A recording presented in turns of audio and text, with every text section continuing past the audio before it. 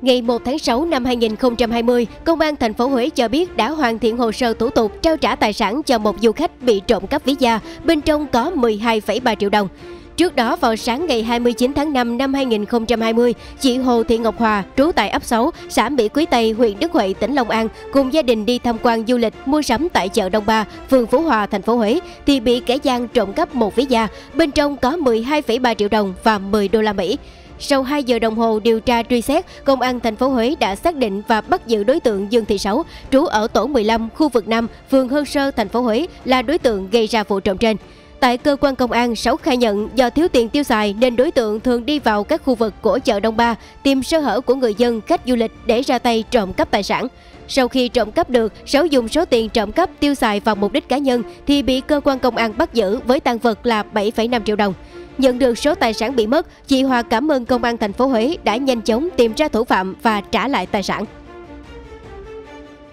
Ngày 29 tháng 5 năm 2020, tôi cùng gia đình đến ờ, thành phố Huế tham quan và có đến chợ Đông Ba để mua sắm.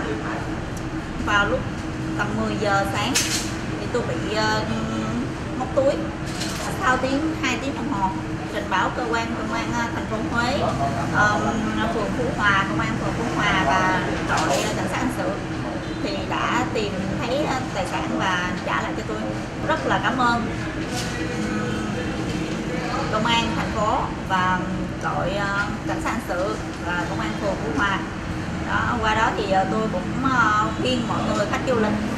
ờ, là đề cao cảnh giác để không có bị kẻ gian sơ hở lợi dụng sơ hở móc túi